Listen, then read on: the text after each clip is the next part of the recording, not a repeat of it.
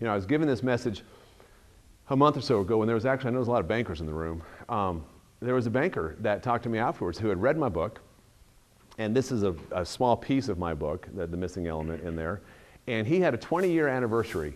He was going, he had just gone on about a month before to uh, Hawaii with his family. And one of the things he wanted to do is go play golf. So, you know, he was a one-some. What do we call a one person playing golf? You know, he's, you know, you get paired up with three others. What do you call that? A one-some? What do you call it? Lonely? so he goes out to this golf course, a public golf course in Hawaii, the only one he can play. This is his story.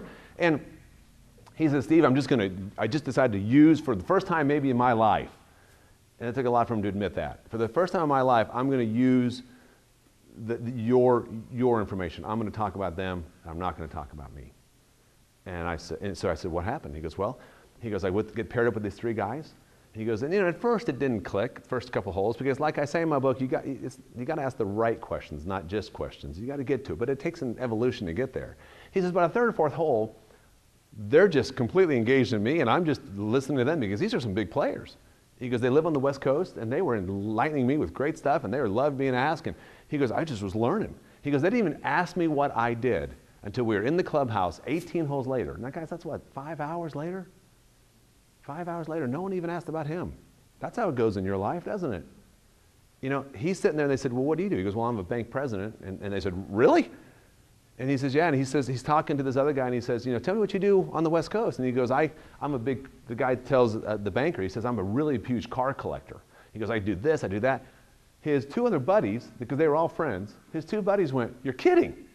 You collect cars? They didn't know because it's love me some me. I love me some me. And I'd like to talk about me. I don't want to hear about you. That's most people. And he just turned it around. What happened from there? It could be the end of the story. It isn't. They said, listen, not only are we big players on the West Coast, but we are private club members to virtually every club in Hawaii. How would you come out tomorrow for the real club? A club he would have never gotten on. This guy's a big golfer. It means a lot to him. And he got to play them one of the most exclusive courses in Hawaii. On top of that, when he left, they, they all three gave him his cards. And this is what he thought was really amazing. And he said, they said, listen, anything you need on the West Coast, you are one phone call away from getting it. You call us, we're there for you. All he did was implore a simple thing of pure curiosity. And he enjoyed it because you can learn. I've been doing it for 25 years and I've created what I call an ocean of knowledge an inch deep.